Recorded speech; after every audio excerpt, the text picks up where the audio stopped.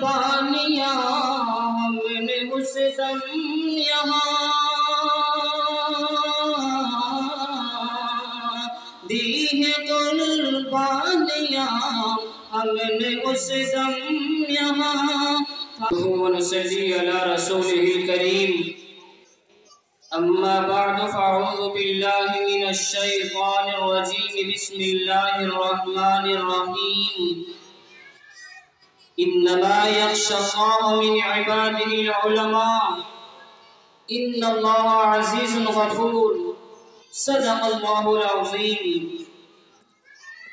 जिन्हें मैं ढूंढता था आसमानों में जमीनों में जिन्हें मैं ढूंढता था आसमानों में जमीनों में वो निकले मेरे जुल्मत खाना दिल के मकीनों में जला सकती है शमे कुश्त को मोजे नफस उनकी। जला सकती है शमे कुश्त को मोजे नफस उनकी। इलाही क्या छुपा होता है अहल दिल के सीनों में। न पूछ इन फिरका पोशों की इरादत हो तो देख इनको। न पूछ इन फिरका पोशों की इरादत हो तो देख इनको। ये दे बेजा लिए बैठे अपनी आस्तीनों में। बाहर आई अगर गुलशन में तो किस काम की आई? बाहर आई अगर गुलशन में तो किस काम की आई? नशे में शाख पे बाकी रहा नदी मिसीनों में। स्टेज पर रोना अफरोज किराम किराम और सामाइन इज़ाम। आज मैं आप हजरात के सामने उन याराने बासफा शहीदान इश्क वफा, वारिसान बिलाल और सराफिल आज़ादी के तस्करे की शहादत हासिल कर रहा हूँ। जिनका कल्ब जिगर इस्लाम की आजमत से मामूर था, जिनके चेहरों पर अजम इस्तिक़लाल की किरणें जलवा फगन थी, जिनका दिल जज्बा जिहाद से सरशार था, जिनकी एक तारीख है तो एक दास्ता है तो मोहतरम हजरा सुन लीजिए कि जब हिंदुस्तान की मुकद्दस सरजमीन पर अंग्रेज़ों का नापाक साया पड़ा और वो अपनी शातराना व चालों से यहाँ के मालिक बन बैठे, जब हिंदुस्तान हिंद पर तरह तरह के जुल्म, सितम के पहाड़ तोड़े जाने लगे, जब हिंदुस्तानियों को अपना गुलाम बनाया जाने लगा जब हिंदुस्तानियों का खून उनके पसीनों से भी अर्जा होने लगा तो ऐसे नाजुक वक्त में सबसे पहले जिस शख्स ने आलम बगावत बुलंद किया, वो मुहदस कबीर इमाम जलील, रईसुल औलिया, फखर चमन, महरम फन, नाजिश वतन शाह अब्दुल अज़ीज़ इतने बड़ी उम्र मुहदस देहलवी है। ये वही मरते मुजाहिद दुर्वेश खुदा है जिसने वक्त से बहुत पहले मुसलमानों के नस्बुल का ऐलान फरमा दिया था, जहाँ तक पहुँचने के लिए दूसरों को भी बस बस इंतज़ार करना था। शाह अब्दुल अज़ीज़ का फतवा क्या था?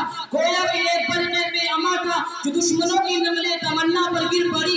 अंग्रेज़ों की नींदें हराम हो गई। जगह जगह आज़ादी के शोले भड़कने लगे, जगह जगह आज़ादी के परचम लहराने लगे, सीनों में वलवले मचलने लगे शुरू कर दी मसनद दर्स पर बैठकर हदीस का दर्स देने वाले खानकाहों में बैठकर अपने खून जिगर से शम इस्लाम रोशन करने वाले इजाम अपने मदरसों और खानकाहों को छोड़कर मैदान में आ गए और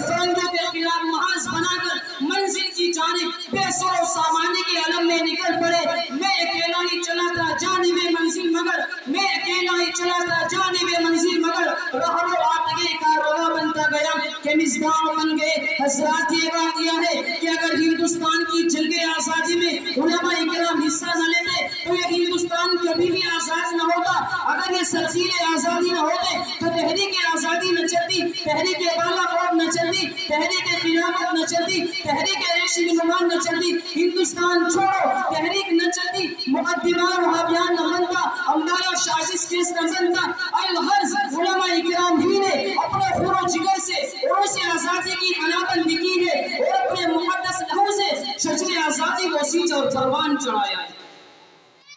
चुनाचे अठारह की जंग आज़ादी में दो महाज बनाए गए। एक महाज अम्बाला पर, जिसकी क्यादत मौलाना जावर थानी श्री के पास थी। दूसरा महाज शामली पर, जिसकी क्यादत हाजिम जादुल्ला महाजिर मक्की के पास थी। इस जंग में बड़े बड़े उलमा जंग में हज़रत गंगोई जख्मी हुए। इसी जंग में आदि शहीद हुए। इसी अठारह सौ सत्तावन की जंग आज़ादी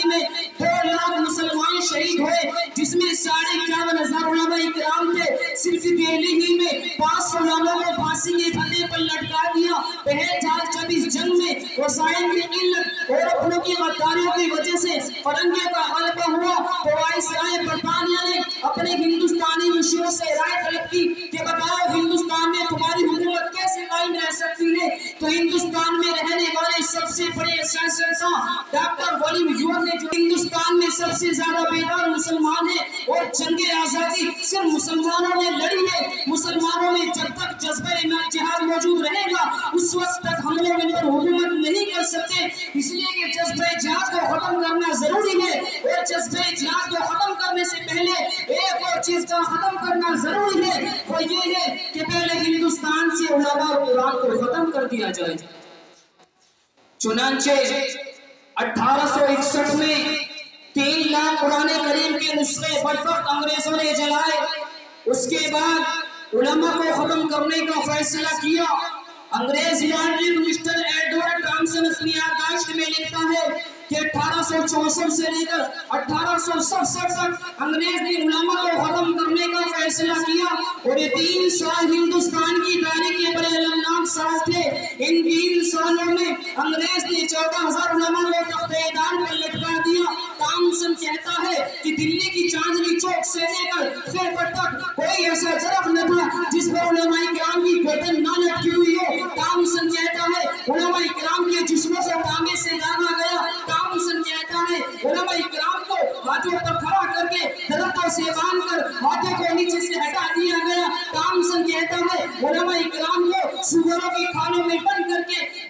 हुए में डाला गया तामसन कहता है लाहौर की शाही मस्जिद जिसके शहर में अंग्रेज़ ने फांसी का बंदा बनाया था, उसमें एक एक दिन में अस्सी अस्सी को फांसी दी जाती थी। तामसन कहता है लाहौर की दरिया में अस्सी अस्सी को बोरों में बंद करके डाल दिया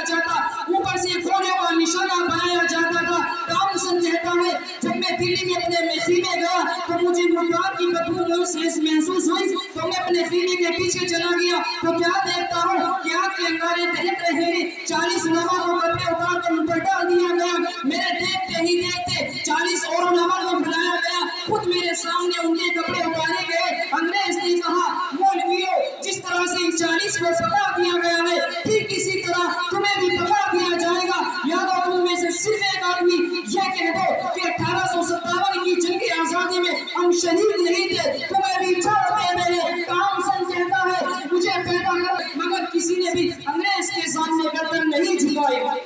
हम तुम्हारी धमकियों से खौफ खा सकते नहीं। हम तुम्हारी धमकियों से खौफ खा सकते नहीं। जुल्म के आगे सर अपना झुका सकते नहीं। है यही तारीख अपनी, है यही अपना फलसफा। हम जमाने में दबाने से सदा। और खिलौना समझकर न बर्बाद करना कि हम भी किसी के बनाए हुए हैं। खिलौना समझकर न बर्बाद